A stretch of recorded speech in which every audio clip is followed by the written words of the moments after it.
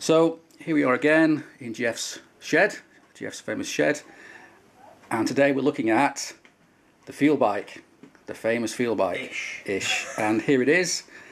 But before we get into all that, the details of the bike and whatever, uh, let's just go back about five years, I think, and remember how it came about. And as I recall, this bike didn't start like this. This bike was bought as a kind of temporary, quick bike to race because the other bike you were building was having problems. So this bike arrived, having been run um, back in the day with a Kawasaki Z motor. Z motor. Was it turbocharged? G- GPZ motor. Yeah. Was it supercharged at the time? Supercharged. Uh, yeah, yeah, I think when I bought it, it had a Magnuson on it, yeah. Magnuson, yeah. So you got it, and did you use it? No, No. no. So what was the first thing you changed on it? Was it the front end? Frame. Oh, the frame. The frame. So basically, the complete frame was ripped apart. Now, why did you do that? It wasn't a good enough frame, or you, The you- amount of work involved to put it, to adapt it, to get it right. how you wanted it was it. quick, uh, how I wanted it. It was easier to Start again. and- start again. So the whole bike was taken apart. Yeah. Start again. Make a new frame, which you did. Which we started. Yeah. And did you put back the old engine into that frame? We started with the old engine. Did we? Yes. All right, we did. But Um, there are some pictures of it somewhere. I have got the in shop. pictures. Yes, I got the pictures with this thing with about 40 million G clamps holding it all together. And then a person not too far away said, I know what, we'll go and buy Well, all these nice bits for it. one off bits. Well, that was because you were trying to make a gearbox, a two-speed drag race gearbox from a bunch of separate parts from a transit van and God knows what else. And I said, what you effing about with that for? And eventually we found one, didn't we? A used one, lightly used one. B&J. B&J two-speed gearbox uh, in Birmingham, which belonged to a chap a bit like us, I, who thi- I think it was Phil Bainbridge's. Phil Bainbridge's old One of his old gearboxes. Yeah, and like a lot of drag race parts, it seems to spend all its days being bought and sold and never actually get used. So now that two and two speed B and J is in It's the back of this sat in here. sat in here, which hopefully will be fine. The one problem with that though is that it's now out of date, isn't it? The B and J two speed. That one is out of date. So if it breaks, But I believe there are no parts no spares for it. So don't break it. available, so if it breaks, you know, We've got a problem. there's a problem. Start again. So, so then with the new gearbox, that meant a new what? That meant We started New side plates? end. Oh. Uh, we, we started making a one-off bottom end, well, you started making a Well, one I bottom end, and this beautiful bit of billet here. Which is. I can remember buying the billet for it. I remember that it was quite expensive at the time, and you spent two hundred quid for yeah yeah, piece. and you spent many happy hours No. machining that out. It's not quite finished yet. The barrel's finished. Yeah yeah. Liners, pistons. Hopefully, we were going to get it to I think fifteen hundred cc. I think. we Yeah, yeah. But right now, that's just sitting there. It's not on the bike. It's waiting for work to be done. Will it ever go on the bike? Because right now it's got standard cases, hasn't it? It it's a stand. It's a sawn-off standard crankcases, but limited limited power. You, you, ma- you Capacity. You'll be pushing for four, five hundred Right. horses, and you're gonna you're gonna start breaking them. So let's just back up a little bit. That is a standard old GPZ case The old- with the gearbox area sawn off Rem- removed and, and sealed off and sealed. Yeah. with a splined output shaft on the So we're going to run it like that initially. just to See what happens. Get it see get get some an idea um, of things. yeah, and then hopefully hopefully you don't break it but if you do break it then sooner rather than later we'll be putting that into it is that right That's right. that's the plan with a one-off crank that is sat on the jig oh yeah it's been there that's got the splined output shaft is in okay the so cases. there's your one off crank there what makes it a one off crank then It's uh, it's been built up of webs. There's no drive gear originally, yeah and the end web, which is getting pressed on, is going to have yeah I can a see that flange machine yeah which fits on Mhm. to drive the lower the uh, pulley. The I think it's uh, about a four inch diameter tooth pulley. right okay So that that's uh, that's got to be done. We're and right now the crank minute. that's in there is what complete crank that's been built. So what's in there now is a complete crank, built up. It's virtually all standard parts and rods, So you've retained the roller bearing bottom apart from one of the end webs which has been modified with a bigger bearing Okay. and a, a, a billet flange machined up Mm-hmm. to uh, And I see we've got two more cranks there, to be welded Lurking. getting going dusty. So what are they for? They're out the other comp bike, All right, we won't mention that one. We won't mention that which, one. which has been done. yeah, yeah. All right, we won't mention that one.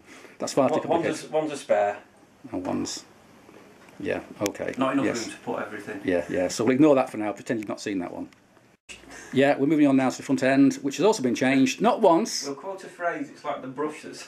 Yeah, had five new handles. yeah, yeah. It's not been changed once, has it? It's been changed at least twice. I know of. There's nothing what we started with. So you started off with another set of billet yokes. You started off with some different forks, which you have on which which I've got on my bike. You've yeah, yeah, yes, bike yes. I I liberated them when these ones came along, The, and then you made God knows why. You then made oh, and you made your own front wheel, as I remember. which you sat upstairs. Yeah. Now we'll break here because I've got a picture of that front wheel, which is really really nice with matching discs. So we'll break here, and I'll show a photograph of that now.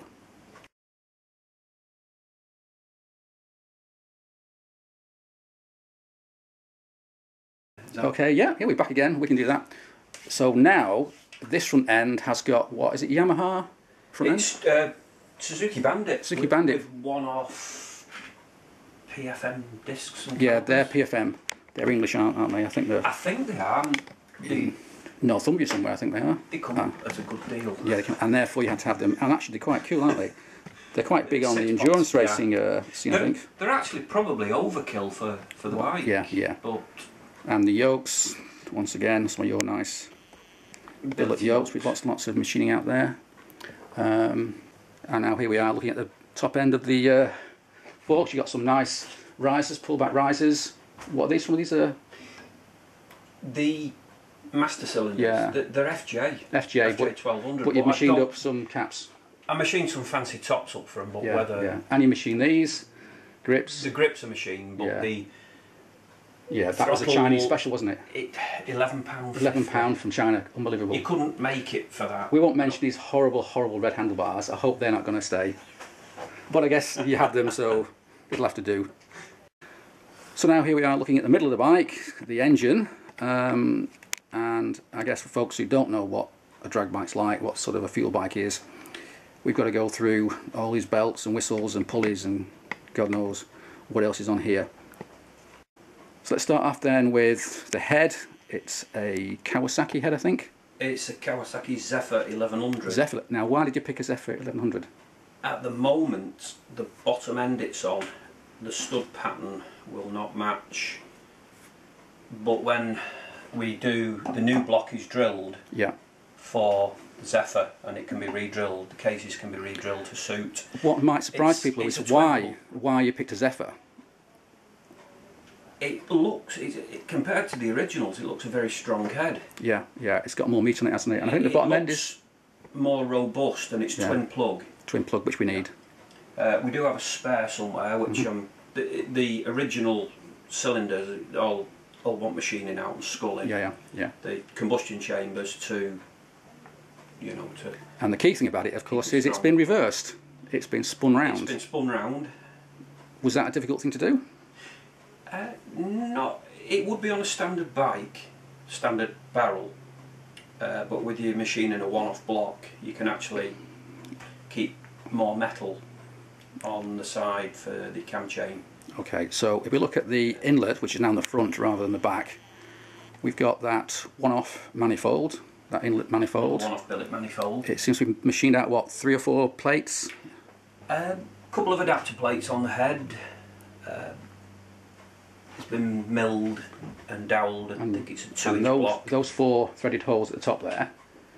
Here, Uh, here, fuel injectors. There for the injectors. Yeah, for the nitromethane, hopefully. hopefully, yeah, which won't blow the damn thing up. And then attached to that, we've got this bloody great big An adapter plate that's supercharger. to an S102 Sprintex. Yeah, and again, was that originally on the bike? Nope.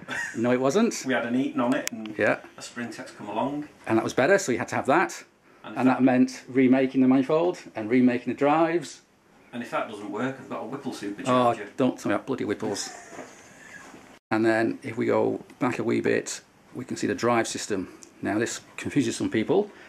We've got that pulley, the belt, which goes down to the crank, the end of the crank, and which is there. It's been fitted. The cr- that end of the crank has been done. Mhm. There is some work to do on the oil pump and fuel pump drive. Yeah, so the oil pump and fuel pump are where? The That the oil pump and fuel pump run in one. yeah.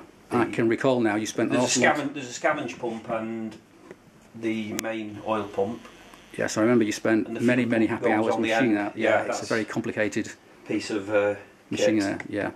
And then what also confuses people, I guess, is next to that you've got even more belts. So let me just move the camera and we'll talk about why we've got all those pulleys and belts at the back there. So here we are behind the engine and we've got these two pulleys being driven by Two. separate um, belt, a tensioner. So what are these things that live behind? Two scintilla magnetos, Uh-huh.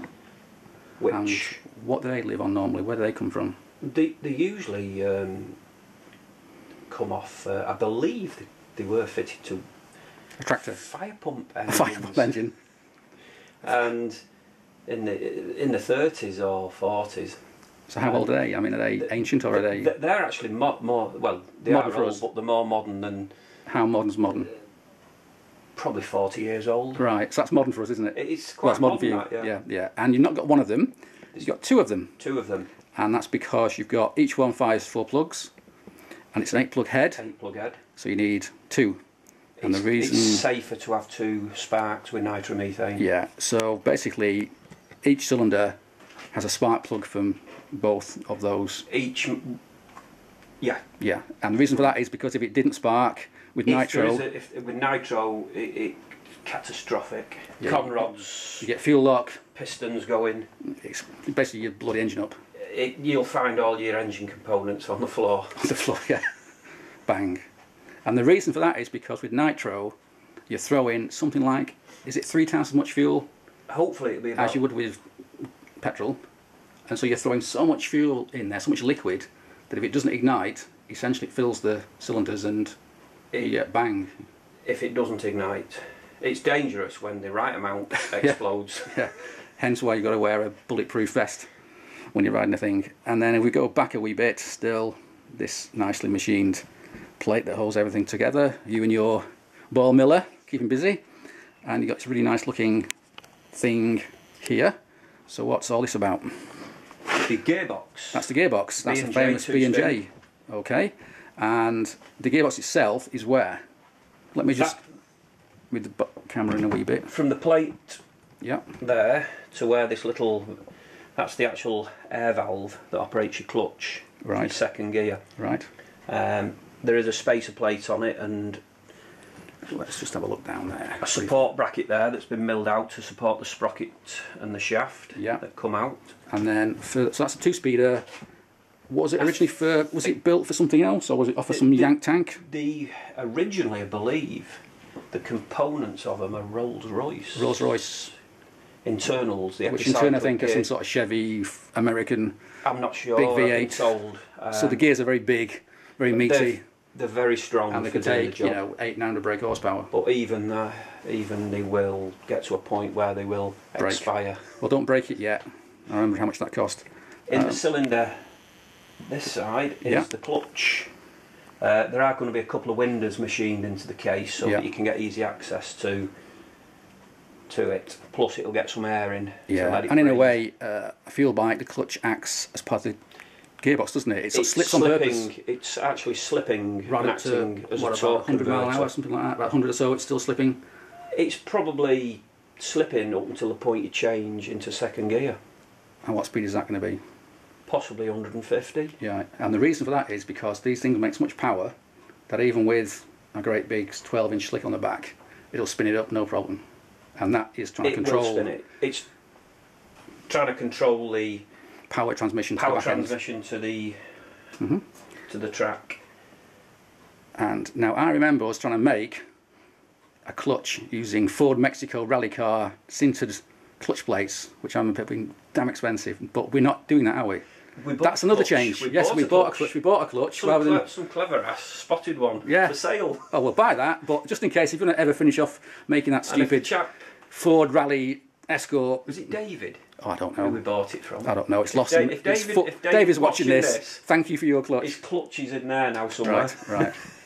and now looking at the exhaust ports, we have the stainless steel headers. Headers which are machined to slide on stubs which are bolted to the head. Yeah. Now you made that, didn't you? Those collets. The clamps have been made, yeah, by Yeah. myself. So then they'll go back and exit behind the exhaust pipe, uh, behind the. The adapters Tyre. have been made to, to two inch to suit two inch stainless tubing, which we have to get bent Yeah. Or get some bends welded in, and the four pipes will go to the rear and exit the seat, exit the seat unit behind.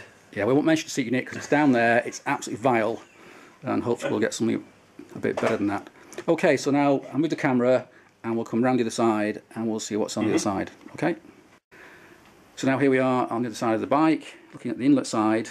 Uh, so wh- what's that from?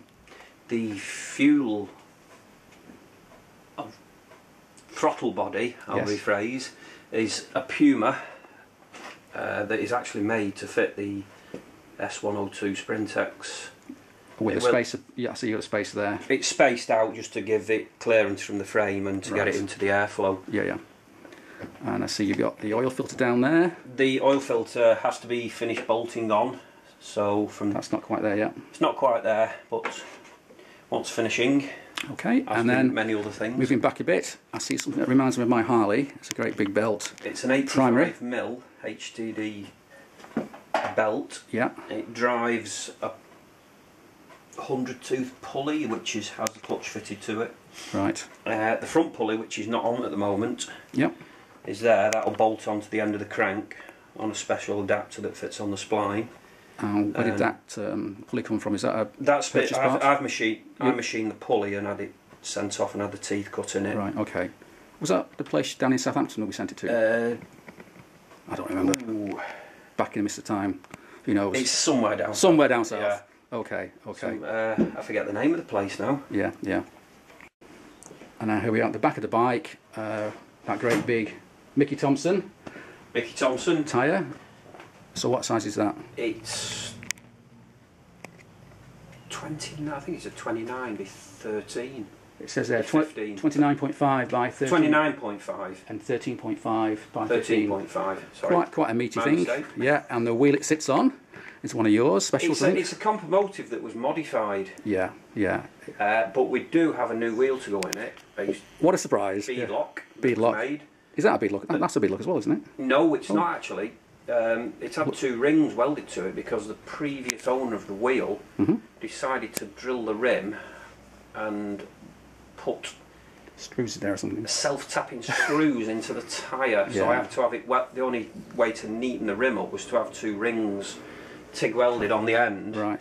and some of the screws actually have got like a slight point on them, and Mm. they just push through into the tyre just to stop it from slipping. Yeah, that's it helps it to slip. Um, It, is it great. looks actually better than what It, it really is. it really is. So where's the other tyre then? Where's the other wheel? The other wheel is sat in the loft. Right. Okay. Okay. That will be fitted in. Which one's in that? due course. Is that the one with the three spokes on both sides? Or? It's the one, the three spokes. Oh, that's a nice one. That I like That's that. a nice That's one. good. Yeah, yeah. We'll get that out and have a look at that. That's quite an impressive bit of kit. And then obviously you've got the great big rear sprocket um, and the massive chain.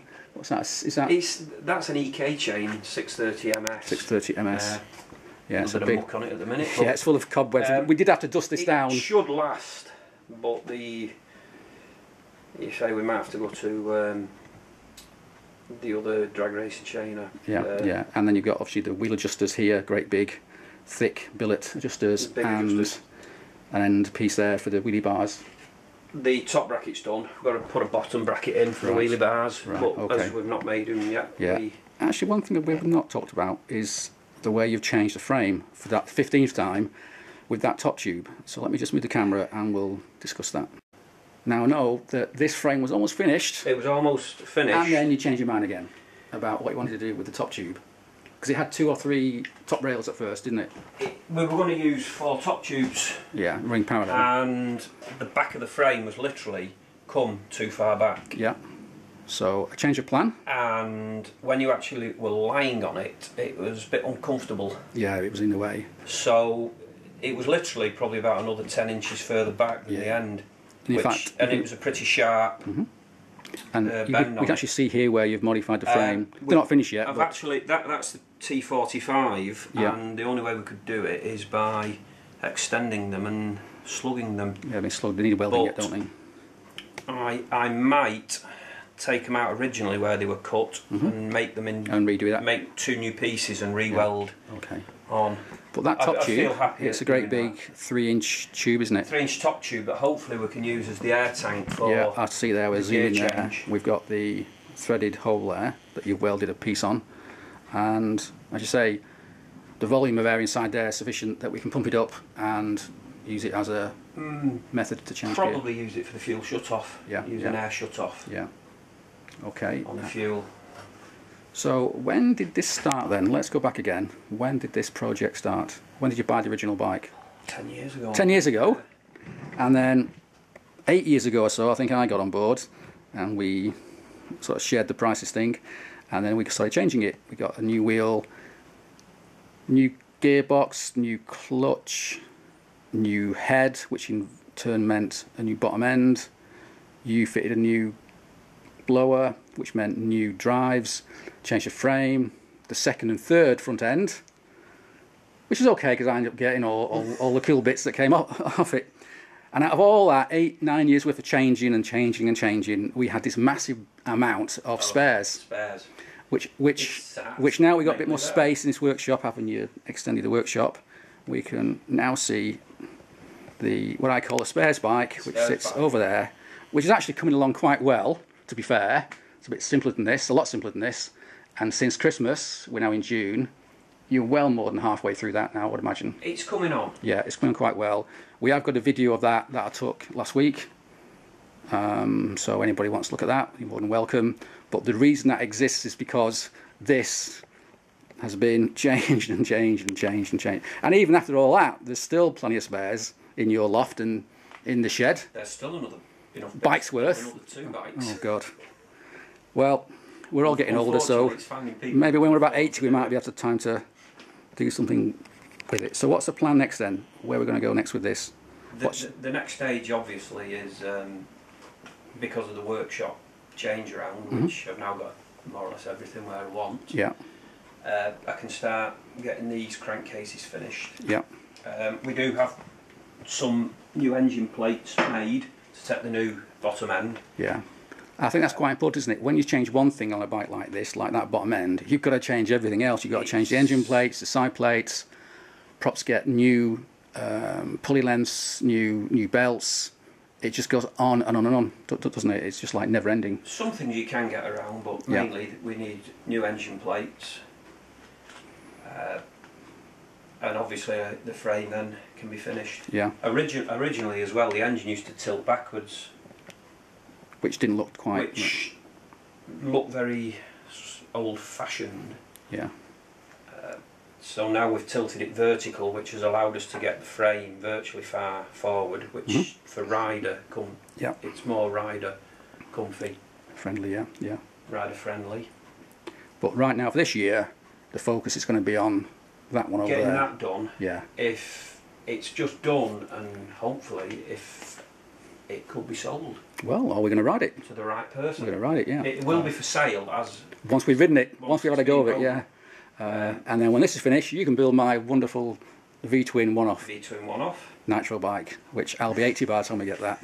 But it's all part, what a way to go. what a way to go. Die on me, one-off V-twin nitro bike at Santa Pod. Yep, that sounds good to me. Right, anything else we've got to talk about? We haven't mentioned on this particular bike. Oh, oh yeah, yeah. I'll tell you what we should do our little break here and we'll get that beautiful rear wheel out and I don't know, we'll have a cup of tea first and I'll get a picture of that.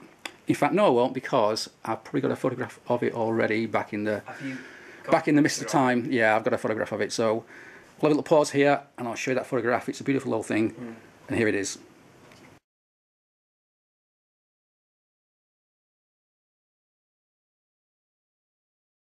So of brings us to the end of our little Show the Whipple supercharger. no, you can't see the Whipple supercharger. I'm sick of superchargers. You, you got you got drawers in this place full of bloody superchargers and SU carbs and God knows what else. No, no, we're staying with that Sprintex. It's a good. No, I was looking at that the other day. I've got. What I was going to do.